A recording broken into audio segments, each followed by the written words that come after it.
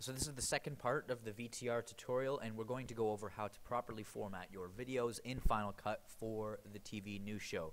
Uh, so once you have the video in iShowU HD and we've already recorded it, it's down here in the little thumbnail area. Um, open up Final Cut, get uh, Final Cut set up there and then right click on the video, reveal in Finder. Uh, so once we know where the video is, then we can just drag it right into our browser over there and we'll close iShowU HD. So we don't need that anymore.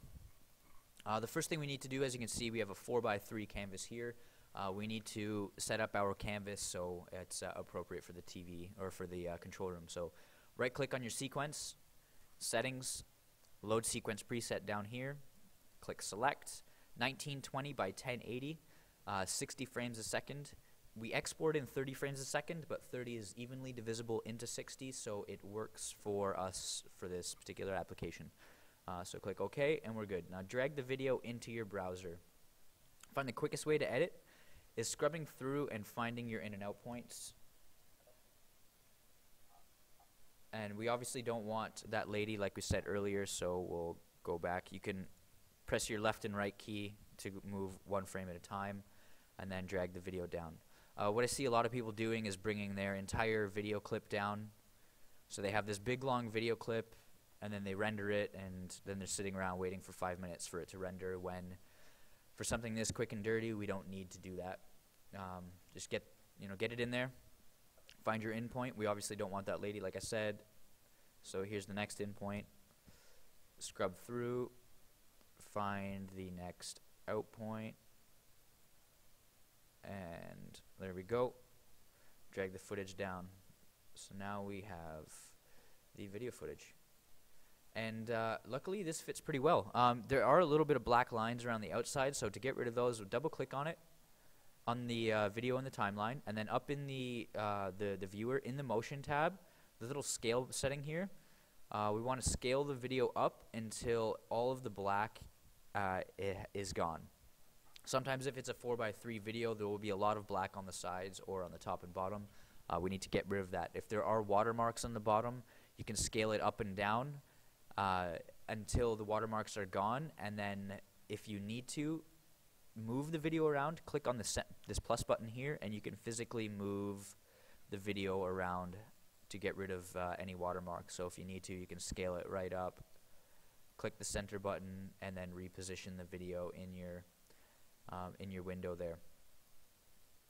So we'll, get this video back to normal here first. Scale it up a little bit more. So as you can tell, this is really distorting the video. The scale is 423%. Um, obviously, 100% is the same quality that we recorded it in, um, but the, you know, we're dealing with secondhand video that we uh, stole from the internet uh, to begin with, so the quality is not that great to begin with. Um, so here's the second video clip, double click on it, motion tab, we need to get rid of these black lines again, so scale it up. And the position is pretty good, um, so now we just need to add the uh, the five seconds of freeze frame. Um, that should be the last thing that you do once you've moved the video and gotten rid of the black. Um, if you do that first, then after you position it, uh, the freeze frame will not be the same as the actual video footage that you've adjusted. So adjust the video first, make the freeze frame, click on this, go up to modify, make freeze frame, and then in the viewer, change the duration to 5 seconds, and then you can just drag the video clip down. Uh, and then we can highlight these, slide them down, and then we'll go to the end here same thing, modify, make freeze frame. So this is our freeze frame.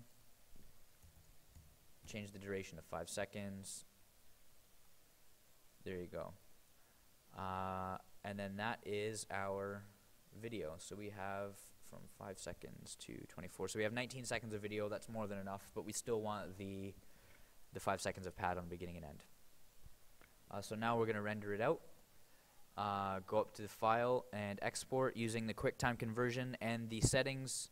The settings to render up the video are posted on the tables. They have green tape above them. And that is it for the second part of the VTR video tutorial.